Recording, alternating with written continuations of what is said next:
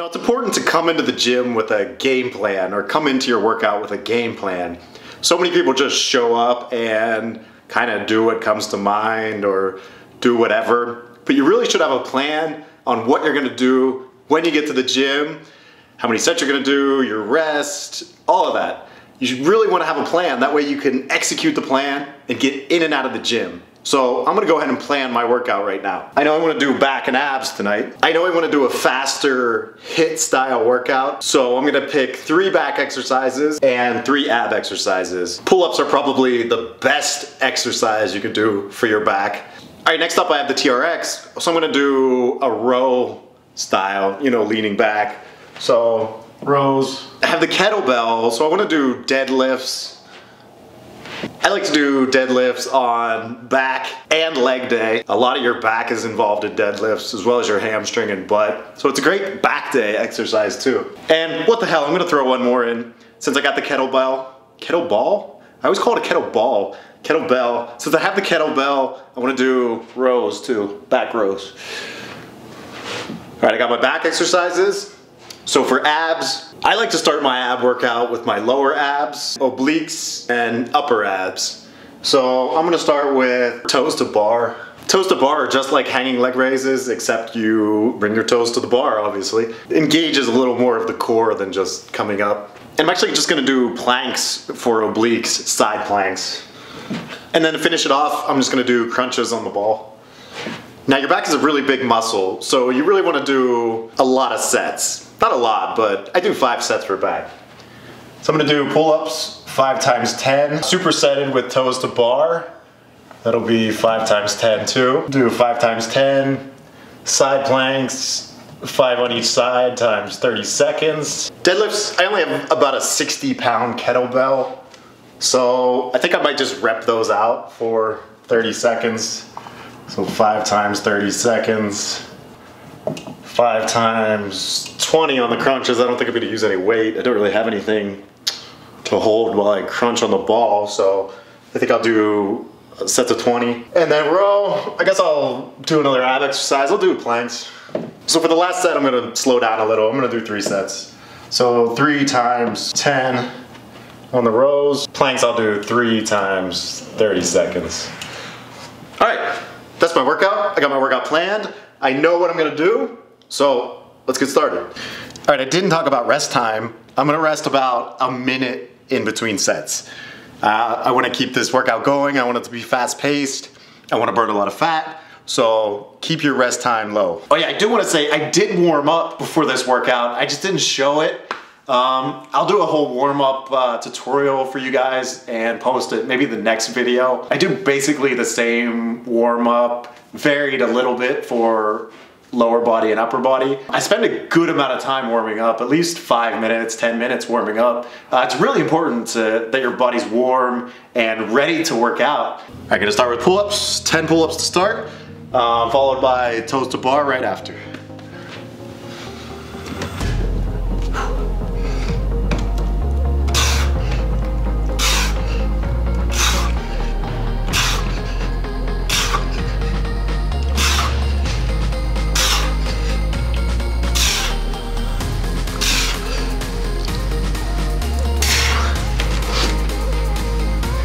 Toes to bar, you really want to keep your legs as straight as possible. That way you engage more of the lower abs and not your, not your hip flexors. If you bring your legs up, not above parallel, you're just working your hip flexors. But if you bring them up above parallel, you're gonna work your lower abs. All right, enough bullshit.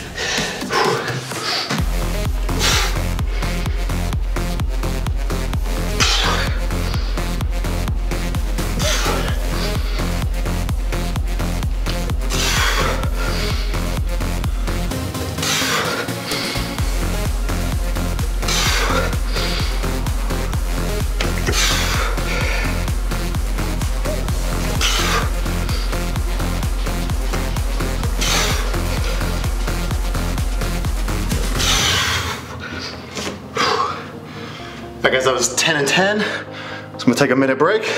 If you guys didn't watch my putting together my home gym workout, you can see I put up the pull-up bar and the TRX and anything else we got in here. As you can see, it's pretty sturdy.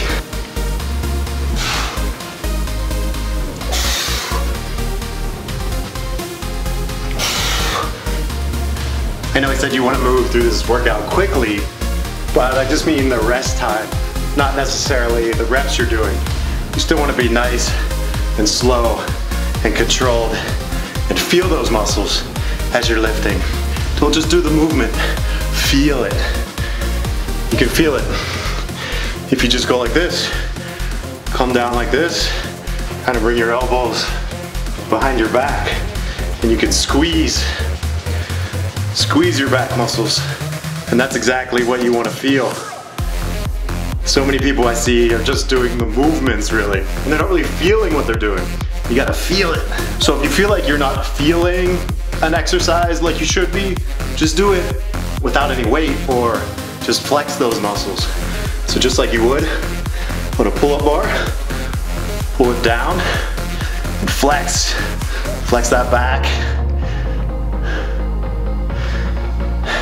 It's the same thing you wanna do when you go up on the pull-up bar.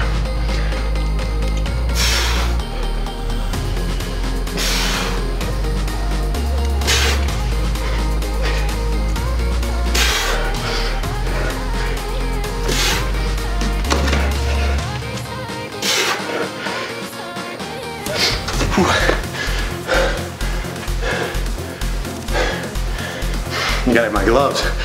My hands always sweat a lot.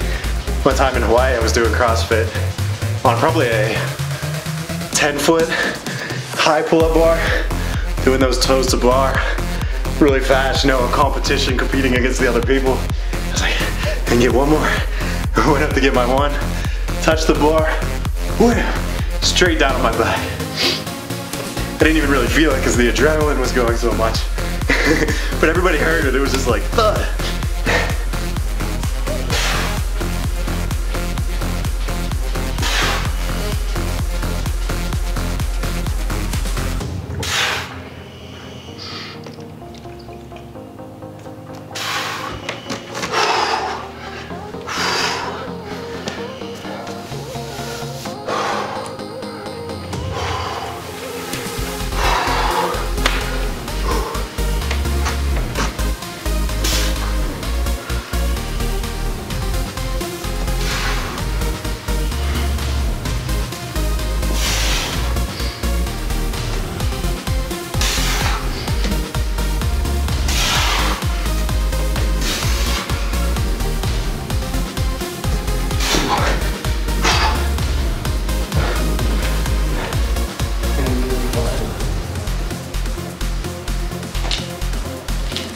All right, next superset is gonna be rows and side planks.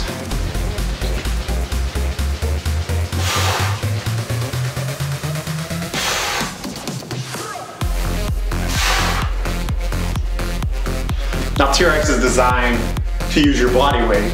So the more you lean over, basically, the heavier the weight or the heavier your body weight is, the more upright you are. It's not as hard. You get down, harder,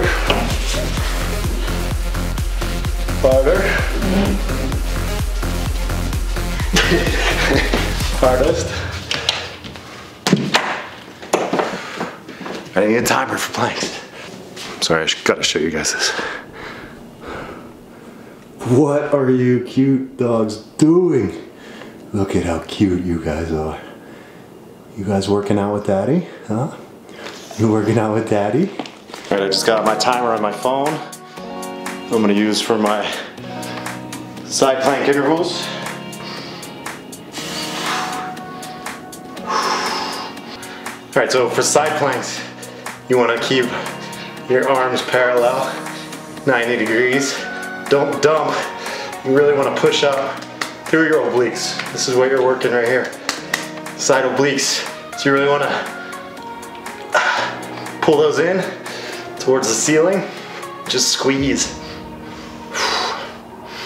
And just hold. A lot harder than it looks. Stack your feet on top of each other. Really gotta flex those legs too. If that's actually too hard for you, you can bring a knee down, kind of like that. Make it a little easier.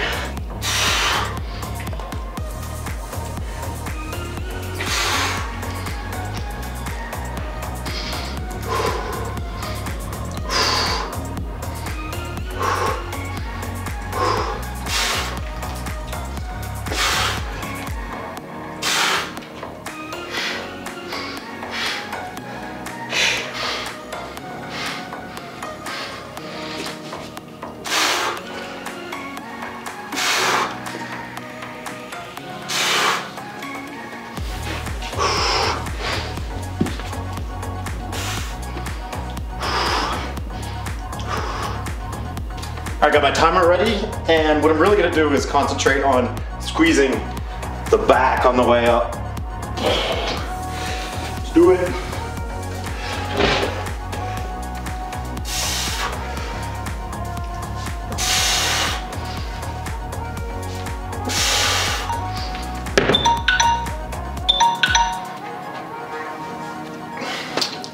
All right, this is why you make a plan. You could just look at the board and say, all right, crunches.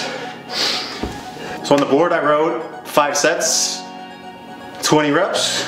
I guess that's what I felt like doing then, so let's do it now.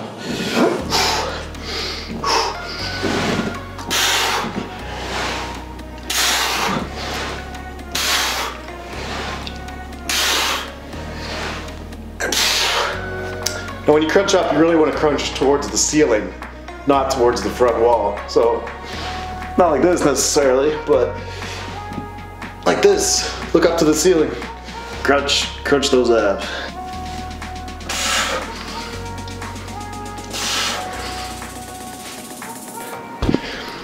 This is why you write stuff down because I get about 10, 11 reps in 30 seconds with that kettlebell and could definitely do a lot more. I'm gonna stick to what I wrote on the board this workout, but then next workout, you just come in and increase the reps or the weight if you can.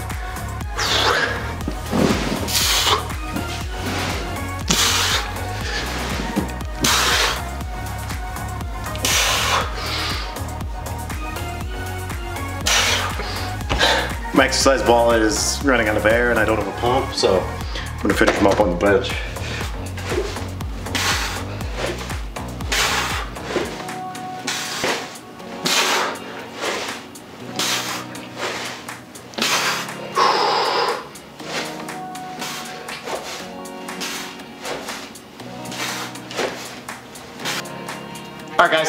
On to my last set, my fourth set. I'm gonna do rows and planks. Um, three sets of rows, three sets of planks. This is my first workout in over a month, first back workout. I feel pretty good. I'm glad I took the month off and worked on my flexibility and my mobility. It's really helped. I can tell a lot with just the movements and little aches and pains I used to have that I don't have anymore. So if you guys are feeling stiff at all, don't be afraid to take a little bit of time off and stretch. Or if you haven't worked out at all before, make sure you get a little bit flexible and have some mobility before you start, you know, doing squats and deadlifts and pull-ups. It's really gonna help you out and it's gonna prevent injury. All right, on to my last set. The hell am I doing? Three times 10. For these, also you really wanna keep your back nice and flat, never rounded. Nice and flat, stick that butt up in the air. Now you can either do these on a flat bench or I see some people even do them standing, but I usually do them on an incline, so I'm a little bit higher, but all I have is this flat bench, so I'm gonna do them here.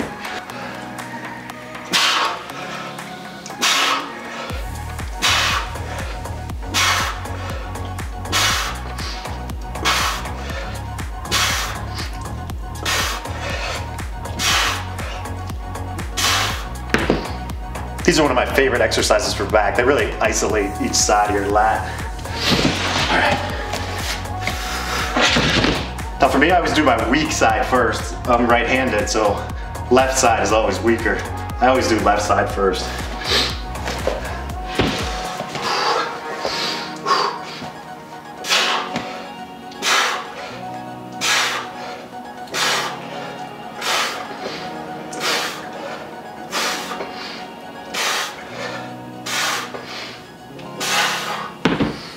First set of rows done.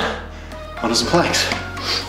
I said 30 seconds, but I'm gonna hold these guys for a minute. Since I feel pretty good, and really I've rested more than a minute in between sets, just setting up cameras and moving lights around. I would usually do these on my elbows, but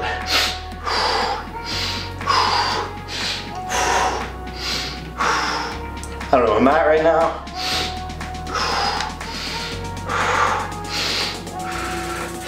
Same effect though, you just really want to pull those abs up and in. Don't dump in the butt. Keep the butt up, nice and straight, flex those legs. Point the heels towards the back wall. Just squeeze.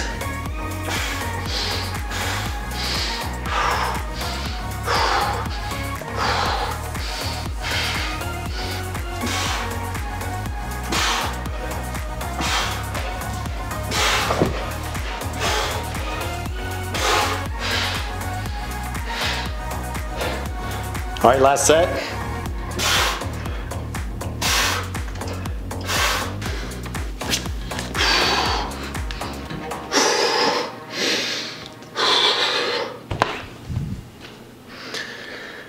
All right, guys, just got done with my first workout here in the new home gym.